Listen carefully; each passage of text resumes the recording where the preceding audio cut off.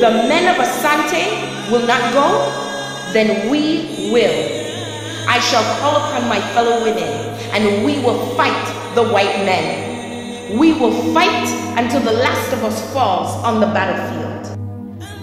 How can a proud and brave people like the Asante sit back and look while the white man takes away their king and chief and humiliates them with the demand for the golden stool? The War of the Golden Stool, also called the Yaa Asantewaa War, the Third Ashanti Expedition, or the Ashanti Uprising, was the last, and seemingly major war, between the British and the Asante, in the then Gold Coast, which is now, the modern-day Ghana. The war was triggered, on March 25, 1900, by the colonial governor, Frederick Mitchell Hodgson, when he demanded to sit on the Golden Stool, a sacred symbol of the Asante strength and independence, past, present, and future. The Golden Stool had been the symbol of power in Ashanti Kingdom since the 17th century. According to traditional accounts, Okomfo Anokye, the high priest, and one of the two founders of the Ashanti Confederacy, conjured the magnificent stool and invoked it to descend from the sky, where it floated, onto the feet of the first Ashanti king, Osei Tutu I. The high priest then declared that the soul of the nation resided in the stool.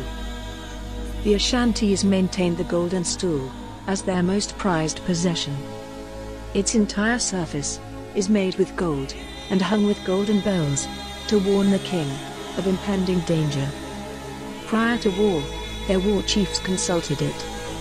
As time progressed, and as the Ashanti scored more victories over their rivals, turning their kingdom into an empire, the golden stool became even more revered. Then came the British.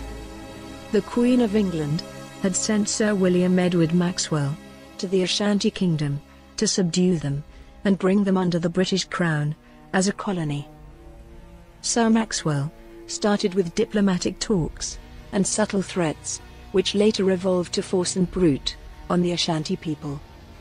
But the then king, Prempeh I, and his people strongly refused to accept the proposition for their land and gold to be annexed and ruled by the British. The continuous resistance of the Ashanti people led to a brief battle, which lasted for about three months, from December of 1895 to February of 1896. The British, with their sophisticated weapons, had the upper hand, and thus, won the battle. And as punishment, for resisting and defying the authority of the British, King Prempeh I was exiled to Seychelles, alongside other notable chiefs of the Ashanti Kingdom. Just before leaving, King Prempeh I advised his people not to put up more resistance after his exile. This was to try to negotiate with the British and save the lives of his people. Little did he know that an even bigger war was brewing. The British government was bent on totally subduing the Ashanti Kingdom. By this time, the region had been signed over to the British Protectorate, and Sir Frederick Hodgson had taken over as the governor of the region, and was intensifying the British rule and suppression of the Ashanti people.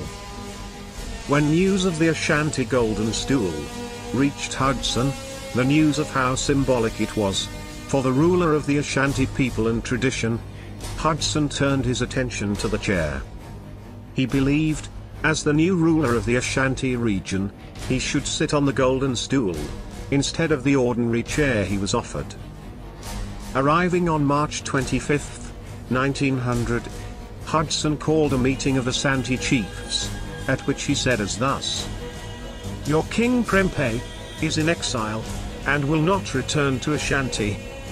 His power and authority will be taken over by the representative of the Queen of Britain. The terms of the 1874 Peace Treaty of Fomena requires you to pay with interest the sum of £160,000 a year. Then, there is the matter of the Golden Stool of Ashanti.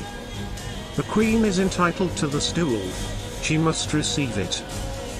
Where is the golden stool? I am the representative of the paramount power. Why have you relegated me to this ordinary chair? Why did you not take the opportunity of my coming to Kumasi, to bring the golden stool, for me to sit upon? Hodgson clearly had not the slightest idea, the uproar, his words would bring. I demand to sit on this stool, so that I will be the supreme leader of the Ashanti man. No!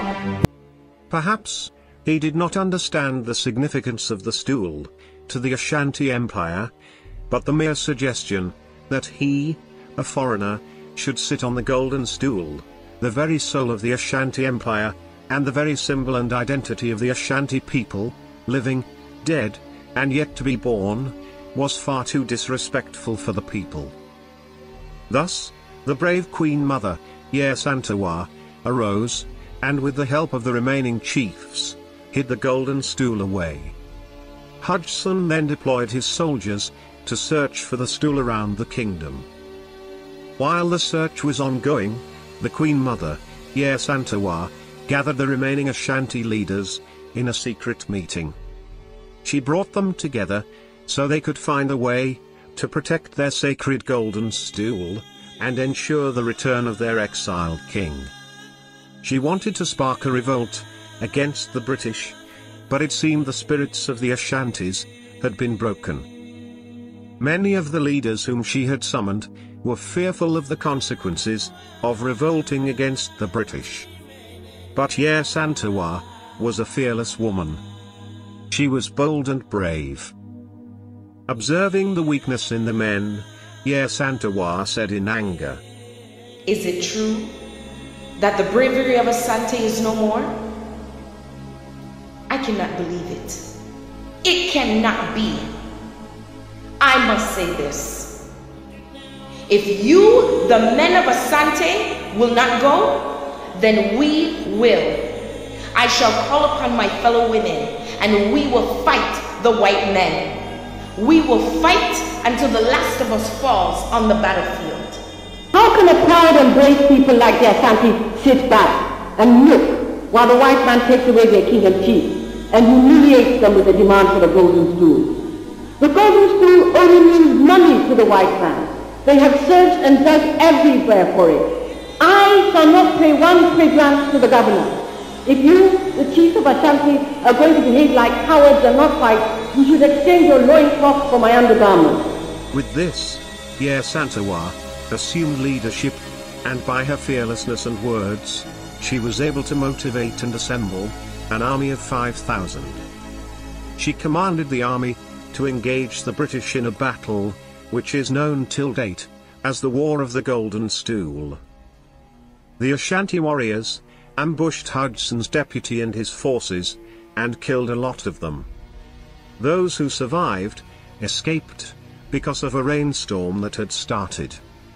When the British survivors reached the other soldiers, and told them of the uprising, the British soldiers stationed in the Ashanti Kingdom, retreated to Kumasi, which was the major base, for the British colonial offices.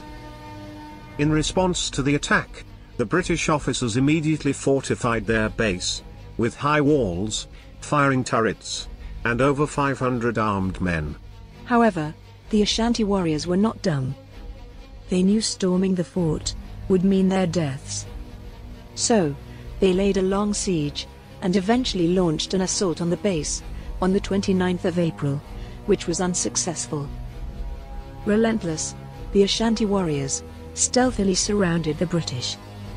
They blocked all the roads leading to the town, intercepted the British food supply, and destroyed their telegraph wires. This was a very frustrating moment for the British officers. They could not communicate with other regions, and they had no food.